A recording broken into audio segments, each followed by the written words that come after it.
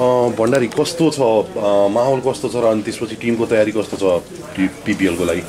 अहिलेसम्म त ठिक छ होइन अब टुर्नामेन्टको लागि अब अगाडिबाट थाहा थियो। सात गेम खेलिरहेको थियो हामीले त्यतिखेर पनि थाहा भइसक्यो कि अब पिपिएल भइरहेछ भने त्यसपछि अब लोकल प्लेयर तयारीमा नै थियो होइन अब अब हामीहरू त अब गेममै थियो अब। त्यसले गर्दा अब टुर्नामेन्ट हेरौँ अब पानीले यस्तो भइरहेछ भने एक दिन पछाडि सरेछ त्यो पनि राम्रै हुन्छ होला। योपालि चाहिँ विदेशी प्लेयरहरू एकदमै नाम चलेको छैन। पहिला अब नाभिक थियो है।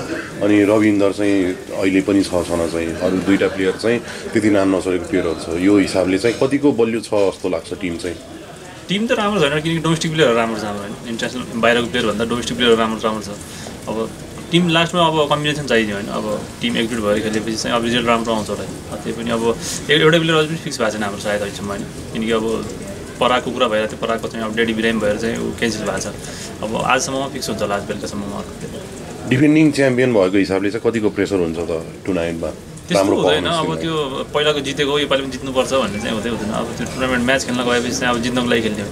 अब त्यसले गर्दा त्यस्तो कुरा त सोचिँदै सोचिँदैन कि पहिला हामीले जित्या हो योपालि पनि जित्नै पर्छ भन्ने चाहिँ हुँदै हुँदैन। तपाईँले आफ्नै पर्फर्मेन्सलाई चाहिँ कसरी लिएर जाने सोच्नु भएको छ?